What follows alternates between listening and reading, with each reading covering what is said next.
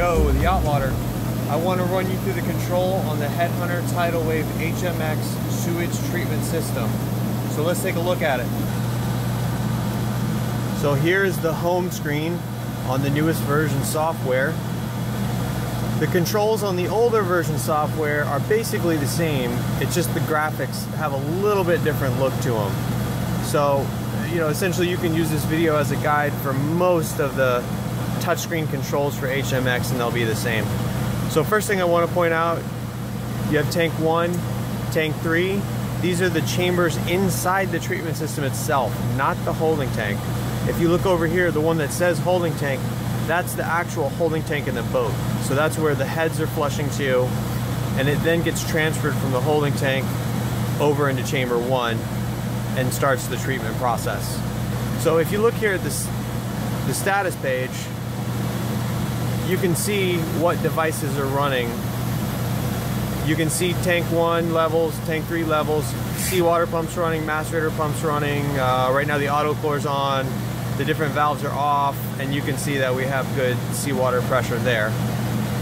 Go back home, holding tank button,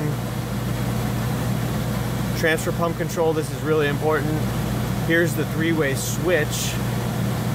So you can send the sewage to the HMX, or you can send it directly overboard, or you can isolate the pump off. Now this switch here, extremely important, this switch needs to correspond with the three-way valve on your black water transfer pump. Okay. Now, one thing to bear in mind is when you have this switch, say for HMX, you're not necessarily going to see the holding tank pump running right away. What you're going to see is the transfer timer counting down. Once the transfer timer counts down, it's going to run your pump for a preset amount of time. The purpose of this timer is to slow down your blackwater transfer pump to 600 gallons per day in the case of this machine and to spread that 600 gallons per day over the course of 24 hours.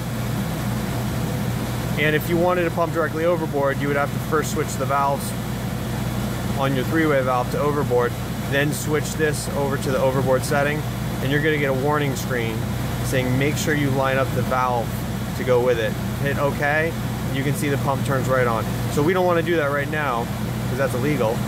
So we'll switch it back to HMX. Go back home. CL2 button, that's your chlorination source. So you can either run off your chem pump, which is gonna inject bleach, or you can run off the autochlor, which the machine will generate its own chlorine from the seawater. So uh, very nice function, but keep in mind you need to be in salty water. You cannot be in brackish water and run the autochlor. You're gonna end up clogging the machine back. If we go look at the log, this is the alarm log page. It's going to tell you uh, what alarms you've had in the past. If they're a blue alarm, then that means the alarm has been uh, dealt with already and it's gone away. If the alarm is red, like in this case here, a red alarm means that state is still active and the machine is trying to uh, take care of that. SVC page, this is the service page. Backwash button, backwash your machine weekly.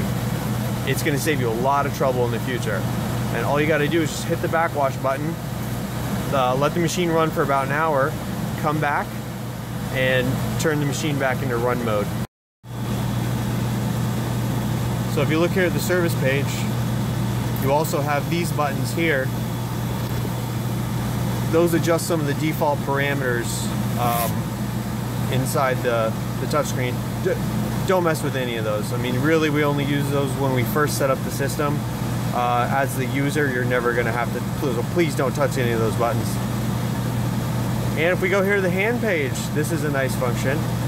Um, this allows you to hand run each of the pumps and each of the components on the machine. So, you know, it's good for diagnosing. You can run each component, see if it works. And also if you've been hauled out of the water or if the machine's been down for a while, you can go through and, and run every component before you fire the machine up and uh, make sure that all your components are functioning before you fire the whole system up. So that's a very nice function. Go back. And uh, of course the start and the stop button and uh, I think that about covers it. So thank you.